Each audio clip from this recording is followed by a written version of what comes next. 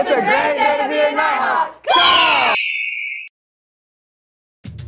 Good morning, Nighthawks. I'm Estefania Garcia, and welcome to NTV News for Wednesday, February 10th, 2021. February is Black History Month. For the month of February, each episode we will feature a different prominent figure in Black history. Today, it's the woman that created the Black Lives Matter movement. In 2013, three feminist black organizers, Alicia Garza, Patrisse Cullors, and Opal Tometi, created Black Lives Matter. It was a response of Trayvon Martin's murderer. The movement is now a global network of members organizing to stop violence inflicted on black communities.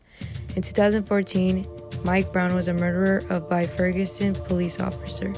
In response, Patrisse Cullors organized a national ride during Labor Day weekend that year in the city of St. Louis.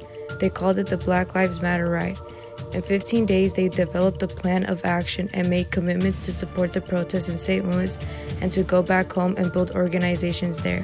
When it was time for them to leave, organizers from 18 different cities went back home and developed Black Lives Matter chapters in their communities and towns.